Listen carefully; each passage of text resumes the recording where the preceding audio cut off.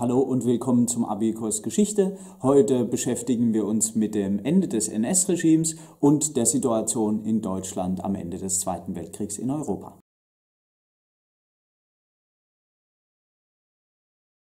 Der Zweite Weltkrieg endet in Europa am 9. Mai 1945 mit der bedingungslosen Kapitulation Deutschlands. Kurz zuvor, am 30. April 1945, hat Hitler in der Reichskanzlei in Berlin Selbstmord begangen. Seine Leiche wird verbrannt und nie wirklich gefunden. Deshalb gibt es bis heute diverse Verschwörungstheorien von wegen Hitler hätte noch gelebt und wäre nach Argentinien und hätte dort ein Blumengeschäft aufgemacht oder irgendeinen Humbug. Ähm, das ist alles eher im Bereich Verschwörungstheorien des Internets zu finden, aber im Grunde genommen ist es auch egal. Hitler verschwindet von der Bildfläche und ab diesem Zeitpunkt kollabiert Deutschland endgültig. Die Frage ist jetzt, wie sieht es denn aus in Deutschland? Zuerst einmal muss man sagen natürlich, dass der Zweite Weltkrieg unglaublich viele Tote gefordert hatte. Insgesamt ähm, je nach Schätzung zwischen 50, 60 bis 80 Millionen Tote. Die genaue Zahl werden wir nie herausfinden können. Zum einen sind sehr viele Erschießungen und Schicksale von einzelnen Personen ungeklärt. Wir wissen nicht genau, wie viele Leute wo jeweils umgekommen sind. Es gab die unterschiedlichsten Zählweisen, die unterschiedlichsten Archivmaterialien und die folgende Spaltung der Welt in Ost und West sorgt dafür, dass die Daten auch nicht vollständig zugänglich sind. Aber im Grunde genommen ist es auch egal, ob es jetzt 60, 70 oder 80 Millionen Tote sind. Die Zahl ist so unglaublich, ähm, dass es hier ähm, ja, es hört sich komisch an, aber wirklich um ein paar Millionen wirklich nicht ankommt. Das sind einzelne Menschenschicksale, die eine der größten Katastrophen der Menschheitsgeschichte untermalen. Und diese Katastrophe bleibt in ihrer unglaublichen Schrecklichkeit bestehen, egal ob es jetzt 50, 60 oder 80 Millionen gewesen sind. Ganz zu schweigen davon die Gründe, die zu diesem Krieg geführt haben, die wir in den vorherigen Videos ausführlichst untersucht haben, nämlich dass eine schreckliche, menschenverachtende Ideologie in die Tat umgesetzt werden sollte und auch tatsächlich in vielen Fällen in die Tat umgesetzt wurde. Von diesen Toten entfallen circa, je nachdem, äh, welche Quelle man findet, äh, sechs Millionen Tote auf Deutschland selber. Davon sind ca. 5 Millionen Soldaten. Zusätzlich sind ungefähr 11 Millionen äh, deutsche Soldaten in den Kriegsgefangenenlagern der Alliierten und auch sie sind also nicht zu Hause. Bis 1950 werden ca. 12 bis 14 Millionen Deutsche aus den Ostgebieten ins deutsche Kernland flüchten, auf der Flucht vor der Roten Armee, auf der Flucht vor den Einheimischen, die jetzt die Gelegenheit nutzen zur Abrechnung für die vielfältigen Verbrechen, die Deutsche in ihren Ländern begangen haben. Eine Sache kommt nach meinem Dafürhalten in modernen Dokumentationen nicht wirklich zum Tragen, äh, nämlich wo die Hauptzahl der Verbrechen stattfindet, wo die Hauptzahl der Tote des Zweiten Weltkriegs stattfindet. Und das ist in Osteuropa. Die deutsche Wehrmacht hatte unglaublich in den Ostgebieten gewütet. Alleine bei der Belagerung von Leningrad, das heutige St. Petersburg oder Petrograd, ähm, sterben weit mehr russische ähm, Einwohner und Soldaten als an der ganzen Westfront Soldaten der Alliierten fallen. Der Großteil der Toten, man schätzt ca. 20 bis 27 Millionen Tote, ist auf dem Gebiet der Sowjetunion. Diese Gewalt, die dort ausgesät wurde, schlägt jetzt am Ende des äh, Zweiten Weltkriegs zurück auf die deutsche Bevölkerung von dort und sie werden aus diesen Ostgebieten vertrieben oder gehen freiwillig aus Angst um Leib und Leben. So viel zu den Toten. Man kann sich vorstellen, dass allein diese Zahlen schon äh, von den Toten und den Kriegsgefangenen mehr als genug wären, um einen Staat, ein Volk, ein Land an den Rand des Abgrunds zu führen. Zusätzlich sind natürlich die Zerstörungen in Deutschland exorbitant. Ab 1944 hatten die Alliierten die Lufthoheit und auch vorher schon kam es zu regelmäßigen Bombenangriffen auf deutsche Städte. Diese Luftangriffe hatten natürlich diverse Zwecke. Der eine Zweck war natürlich Vergeltung für die deutschen Luftangriffe auf englische Städte wie zum Beispiel Coventry oder York oder auch die V2-Angriffe auf London. Aber natürlich auch war einer der Gründe, dass man dachte, wenn man jetzt die deutschen Städte zerstört, dann würde das die Moral und den Kampfkraft der deutschen Bevölkerung äh, schwächen. Der Griff der Nationalsozialisten auf die Deutschen würde sich lockern und die Soldaten an der Front würden auch demoralisiert desertieren, versuchen nach Hause zu gehen, um ihre Liebsten zu schützen. Das hat allerdings, muss man sagen, äh, nicht geklappt. Dazu komme ich nachher noch. Die Deutschen stehen bis zum letzten Minute hinter ihrem Führer und diese Luftangriffe brechen die deutsche Moral nicht. Auch wenn die Schäden wirklich exorbitant sind. Die Zerstörung deutscher Innenstädte oder Großstädte äh, ist wirklich ähm, kaum zu beschreiben. So gut wie jede etwas größere deutsche äh, Stadt wird bis zum Schluss bombardiert. In Stuttgart sind in einzelnen Stadtteilen bis zu 70 Prozent aller Gebäude zerstört und insgesamt über das ganze Stadtgebiet ca. 57,5 Prozent aller Gebäude. In Berlin oder in Hamburg, Köln sieht es ähnlich aus. Würzburg wird zum Schluss nochmal sehr stark verwüstet und da ist die Innenstadt zu ca. 90 Prozent zerstört.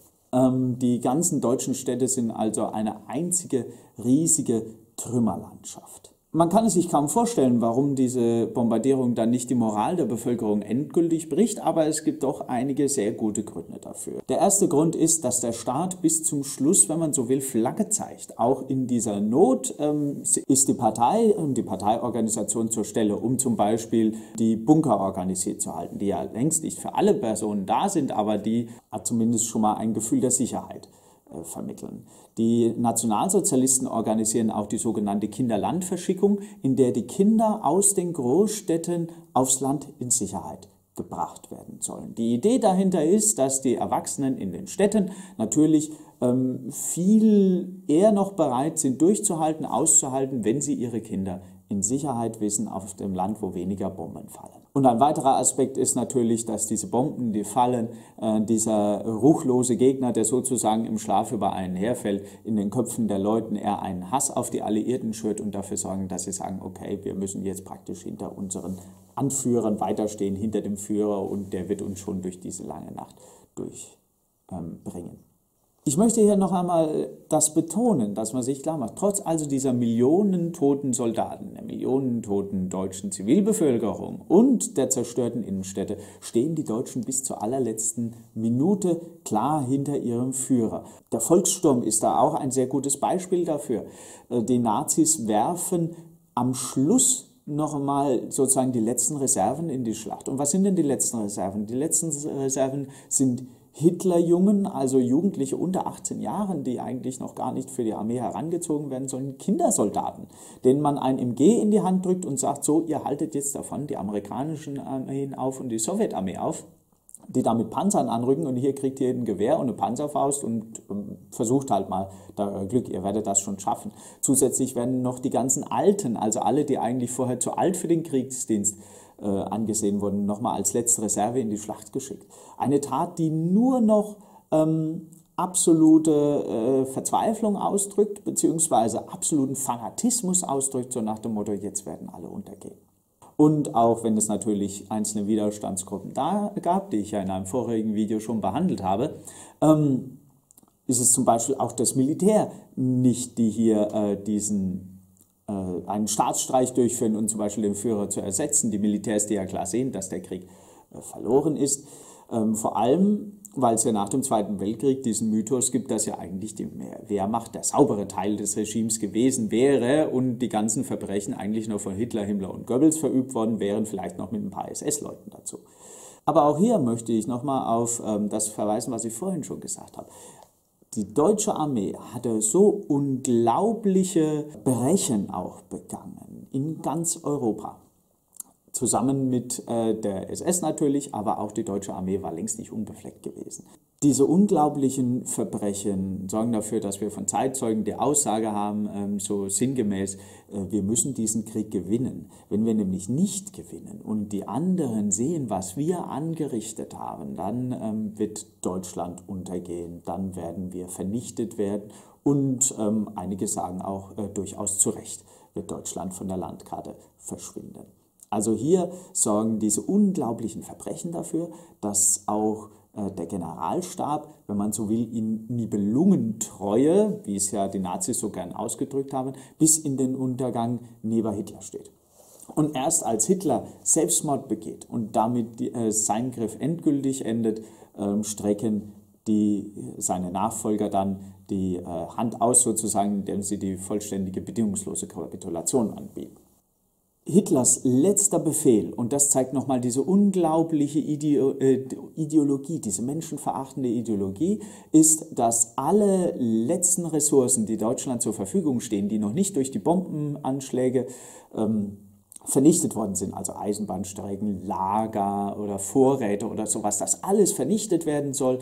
Das deutsche Volk habe sich nämlich im Kampf der Völker als zu schwach erwiesen und deshalb muss es jetzt untergehen, soll es unterleben. Es hat es nicht verdient zu überleben. Die ganzen Guten wären ja schon vorher im Krieg gefallen.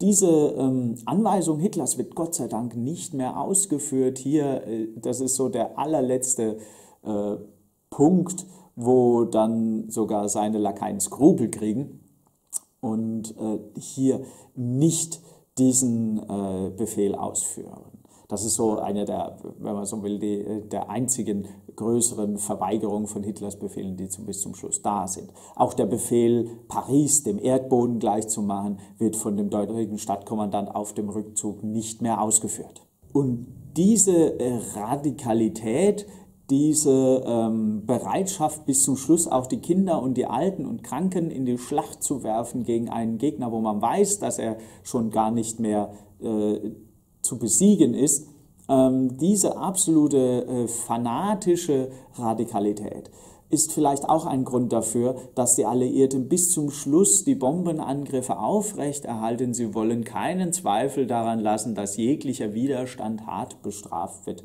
Und vielleicht ist das auch ein Baustein, den wir hier berücksichtigen müssen. Die Alliierten, vor allem die Amerikaner, die Engländer und die Sowjets, hatten sich bereits vorher schon darauf verständigt, dass Deutschland besetzt werden solle nach dem Sieg. Äh, vor allem, weil natürlich, ähm, wie auch die Alliierten sehen, bis zum Schluss der Griff der Nationalsozialisten so unglaublich stark ist auf die Bevölkerung. Die Alliierten besetzen jetzt Deutschland mit den Besatzungszonen, wenn man so will, die Sowjets, die äh, Briten und die Amerikaner. Die Amerikaner treten einen Teil ihrer Besatzungszonen an Frankreich ab. Damit ist Deutschland vollständig besetzt. Die staatliche Gewalt ist man so äh, will untergegangen. Die Alliierten haben gesiegt. Wie es jetzt weitergehen wird mit dem Deutschen Reich, äh, das erfahren wir in den zukünftigen Videos. Bis dahin, gute Zeit.